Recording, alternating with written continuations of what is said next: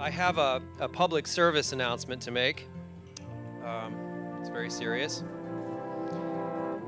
It's come to my attention that some people have been talking about how 2020 has been a lousy year. Well, that's not true, it's fake news. 2020 is a beautiful year.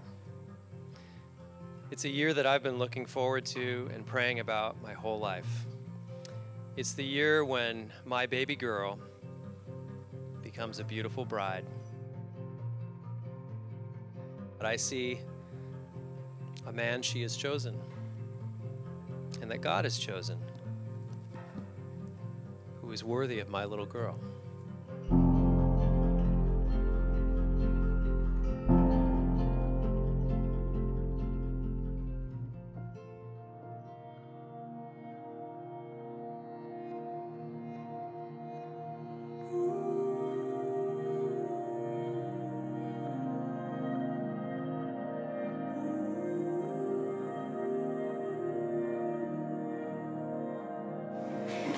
Because Grandpa can't be here.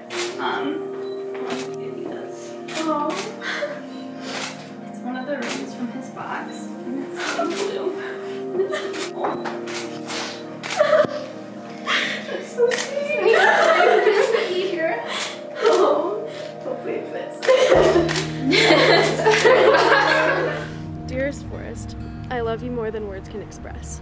We've talked about and prayed for our wedding day so many times, but it still always felt so far away. It's surreal to know that after this day we'll actually be husband and wife. Since I was little, I've prayed for my future husband, and it's such a blessing to see all those prayers answered in you. You are a man of God, my love, and I am certain that you are the man I've been praying for all these years. This COVID experience gave us a unique opportunity to live with Forest for about four months because he couldn't go back to Thailand. He couldn't go back to Hope College. And so I've grown to love your husband. I've grown to love my son. I see a man who is also incredibly talented and smart and super creative. I see a man who loves God, who loves people, who gives sacrificially and with a servant's heart. And I see a man who loves Lauren selflessly, like Christ loves us, and even in simple ways, like getting up to make breakfast for her at 5:30 in the morning before she had to leave to drive to Holland for work. I see a man who has now become my son. Forest has always been a loyal and affectionate brother, even when I was a big, uh, bossy big sister. I remember one time when we were probably in middle or high school, we were talking about best friends, and I shared my list of my best friends. And much to my surprise, he said to me, Brooke, you're my best friend. I did not deserve that, but that's the kind of gracious and kind person Forest has always been. Brooke, I think you had a part in Forest's pursuit of meaningful female relationships at Hope College. Before Hope, Forest's Hope experience began, your life has shown your little brother what a friend a sister could be. You drove your car to Holland and visited him. You two went car camping together.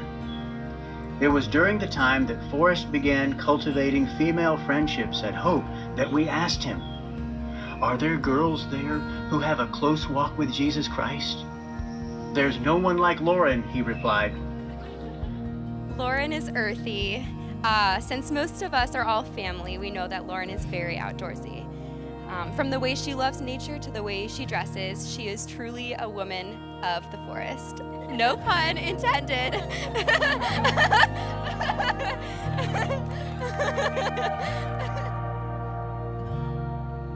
Lauren is the woman that I want to become. She has a servant heart and a vibrant faith that I admire. One of the very first qualities that Forest remarked to me about Lauren was, Mom, she's a very kind person.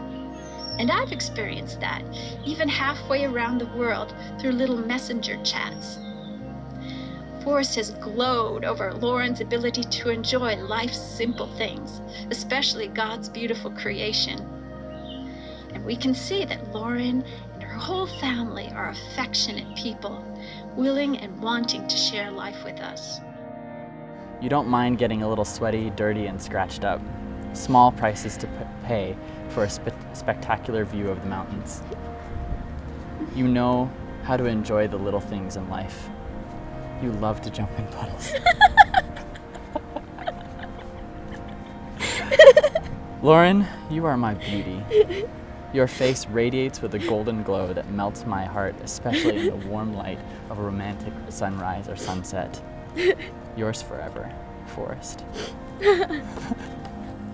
Forest. Forest, you've been blessed with a Proverbs 31 woman as your bride, a woman of dignity, of strength, a wife of noble character, a woman who is beautiful in every sense of that word and beautiful to the core.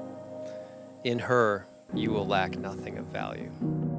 I realize that committing to someone for life is a big deal, but I don't take that commitment lightly. This journey will surely have its high and low points, there'll be many times we fail to keep our promises to each other, but I thank God that we can trust His goodness and faithfulness to carry us through. I promise to do my best to love you as Christ calls me to love you. I will serve you commit myself fully to you, and will love you with every beat of my heart and for as long as I have breath in my lungs. You are my favorite companion, adventure buddy, and friend, and I can't wait to start the adventure of a lifetime.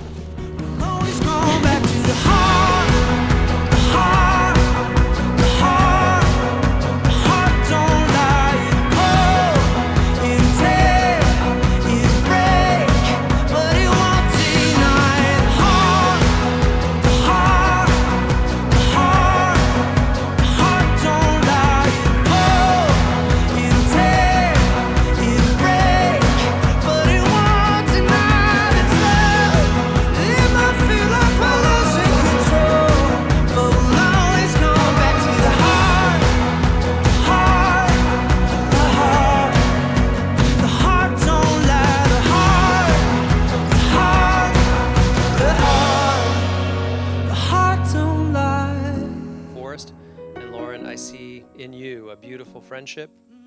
And I see and praise God for the foundation of a lasting and fulfilling marriage and life together. So 2020 is not a lousy year. It's an incredible year. It's a year of blessing and it's a year of new beginnings.